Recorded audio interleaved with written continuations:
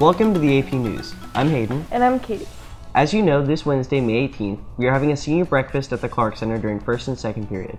Check into your first period teacher, then go to the theater. There will be food and drinks provided. Seniors will also be receiving their caps, gowns, and yearbooks, and Mr. Yeager will be announcing the senior superlatives. Also coming up this week is the Festival of the Arts. It will be May 20th at the Clark Center at 8.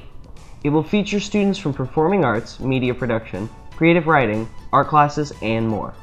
Please come to show your support. On Tuesday, May 24th, are our finals from our first, second, and fifth periods, and on Wednesday, May 25th, are our finals from third and fourth period.